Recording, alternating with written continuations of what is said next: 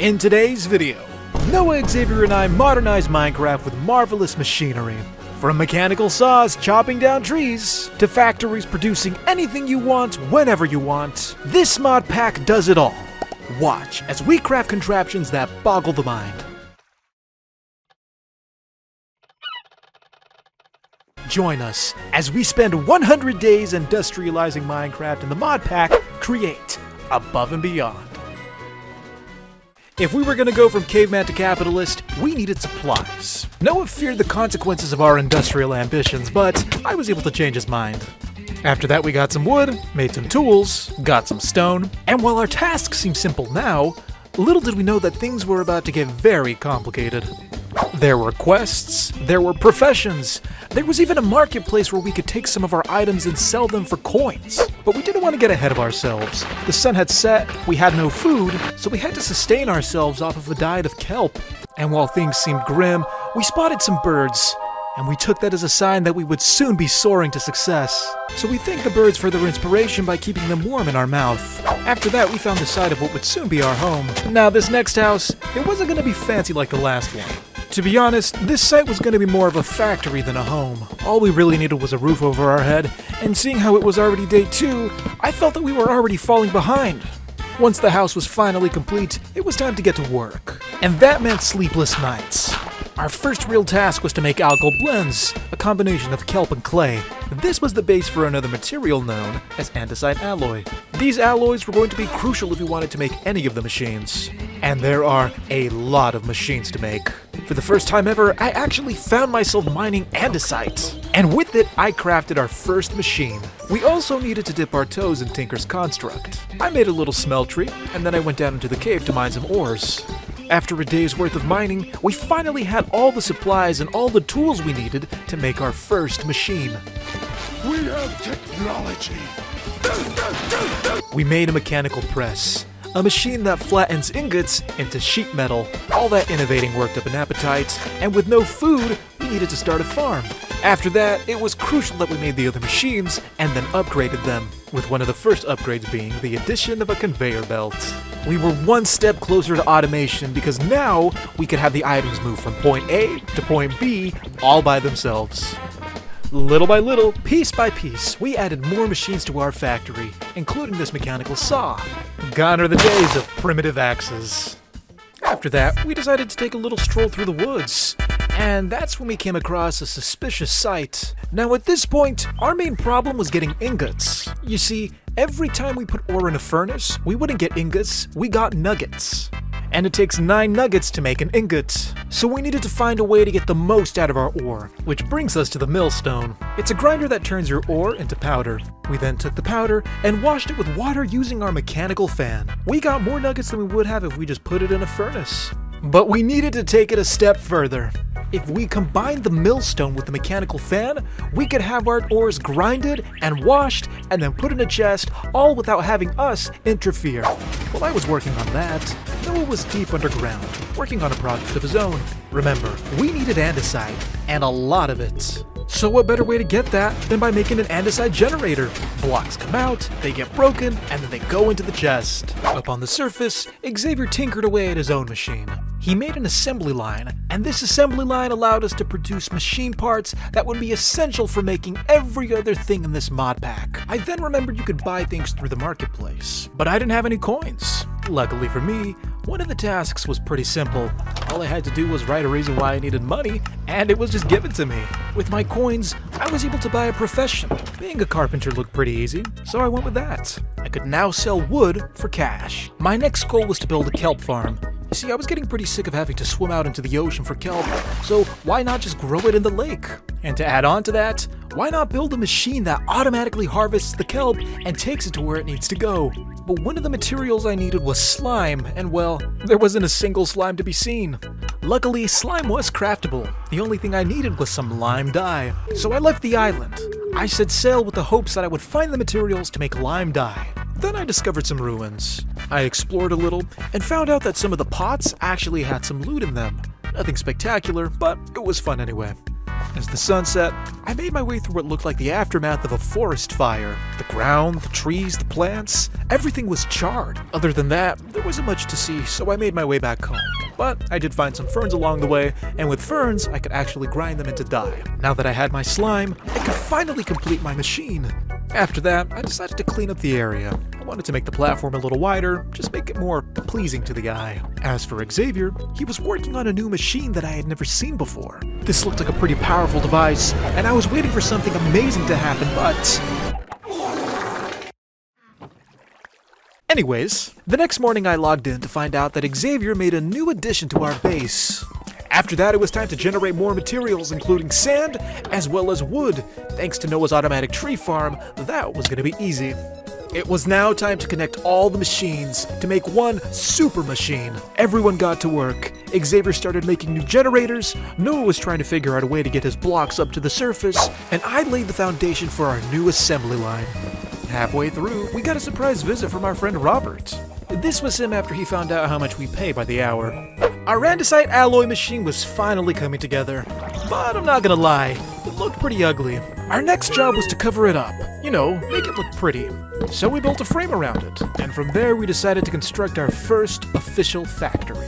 We went with an old lumber mill look, and I gotta say, I think it came out great. We also made the machine more easily accessible by adding walkways and railings, because before, well, we were just falling off into the water.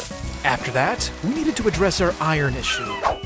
Even though we had set up an ore refinery, it just wasn't enough. So it was time to make an iron farm. And what better way to do that than by kidnapping a couple of villagers, scaring them with a zombie, and having an iron golem spawn. Although kidnapping villagers, it's not as easy as it sounds. Those guys put up a fight. It's time to go to heaven, my Stop child. it, what are you doing? Stop, Stop, don't it, stop, stop it, cut it out, help. stop.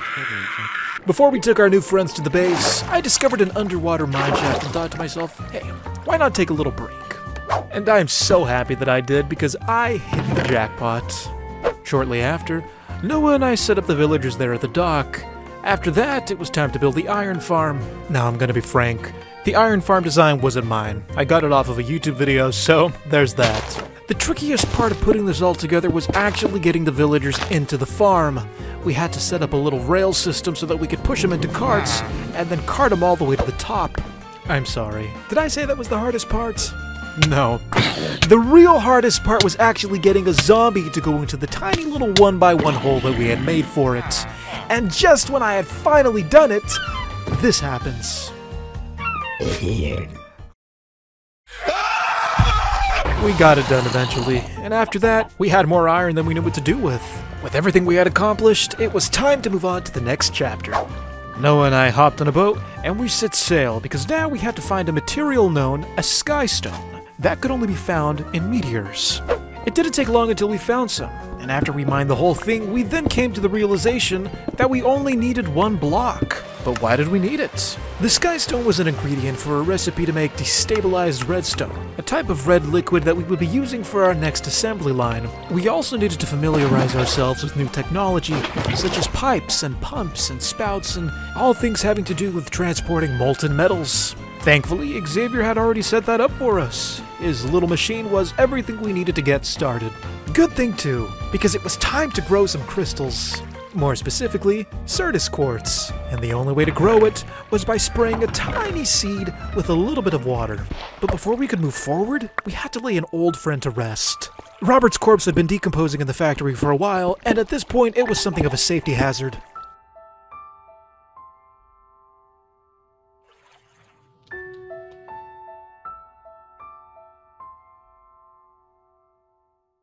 With that chore out of the way, we could finally move forward.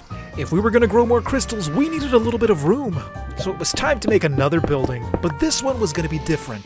At this point, wood was just simply too primitive.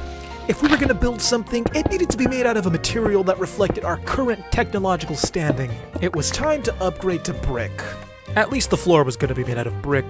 The rest of the building was going to be made out of granite, and for some reason people hate this block, but I think it's kind of nice. So, yeah. After a couple days, the building was finally taking shape. I spent a lot of time putting the windows together, but I think it was absolutely worth it because just look at how the sunlight passes through them. With the walls up, all we had to do now was just build the ceiling, and after that, we would be set to move forward. And even though I had built most of the thing by myself, Noah eventually decided to join me, but he didn't get very far. We laid out the conveyor belt, set up the pipe system, and we even did a little landscaping on the outside. It was simply a matter of figuring out what was gonna go where. Now, we were working with limited space. Granted, we could have made the building bigger, but I didn't. So the task at hand was to figure out a way to condense all the machines in a way where they would still work. For example, instead of making a conveyor belt go from one end of the room to the other, we were just gonna have the conveyor belt go in a circle. It saves space, we can grow crystals, and thanks to the mechanical arm, we can have those crystals move from one belt to another. The next day, we made another new addition to the factory. Do you remember that sky stone we collected from the meteor? Well, this area was dedicated just to that. Grinding the sky stone, mixing it with water, and making sky stone solution, the black liquid in the tank. In order to get this liquid from point A to point B, we were gonna need a lot of pipes, which meant we were also gonna need a lot of copper.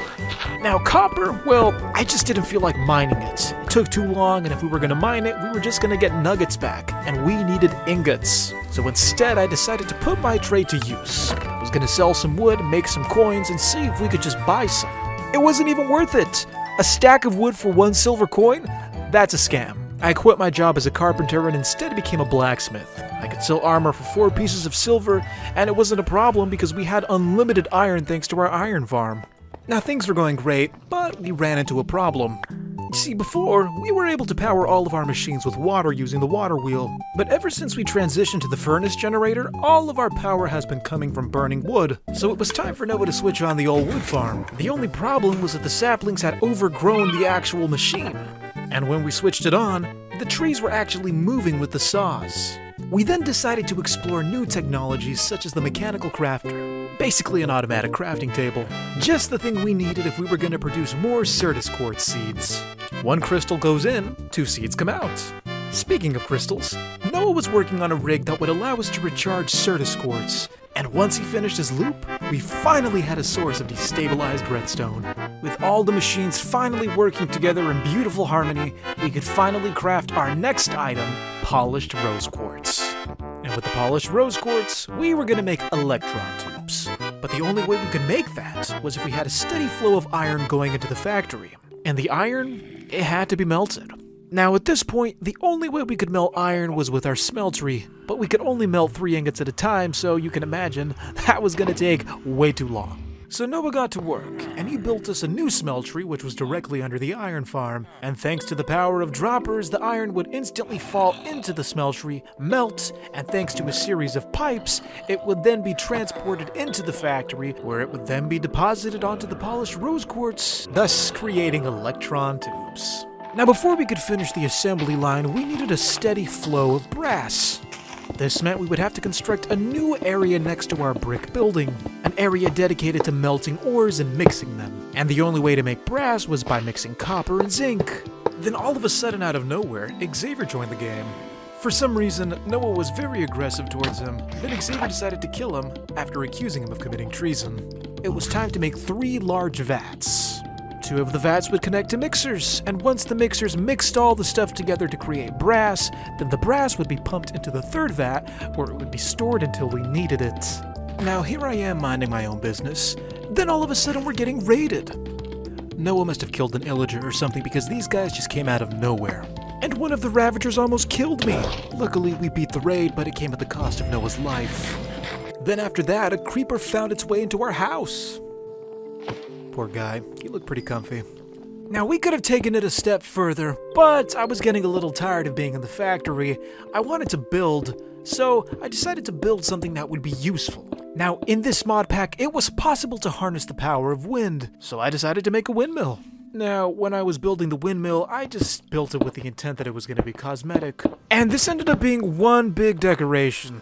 I knew this thing was going to be huge, and over the course of multiple Minecraft days, I ended up creating something that would tower over everything else we had already built. Now, once I had built the tower, it was time to install the blades, and this part proved to be trickier than I thought it would be. In order for this to actually work, we ended up having to craft glue, and to be honest, I didn't even know that was a thing until we needed it. But when all was said and done, we finally had a beautiful working windmill. But the blades were kinda small, so yeah, that needed to be fixed. But once they were bigger, everything just came together. After that, I built the roof, and the windmill was finally complete. Now, by the time the windmill was up, we were nearing the end of our 100 days. And I'm not gonna lie, we weren't even halfway done. There was still so much that we had yet to invent. But even though we had so much to cover in the future, it was nice for the three of us to just stop and admire what we had already accomplished. Our journey with this mod pack was far from over. It looks like we're gonna need another 100 days. Hopefully, we'll see you there. Thanks for watching. We'll see you next time.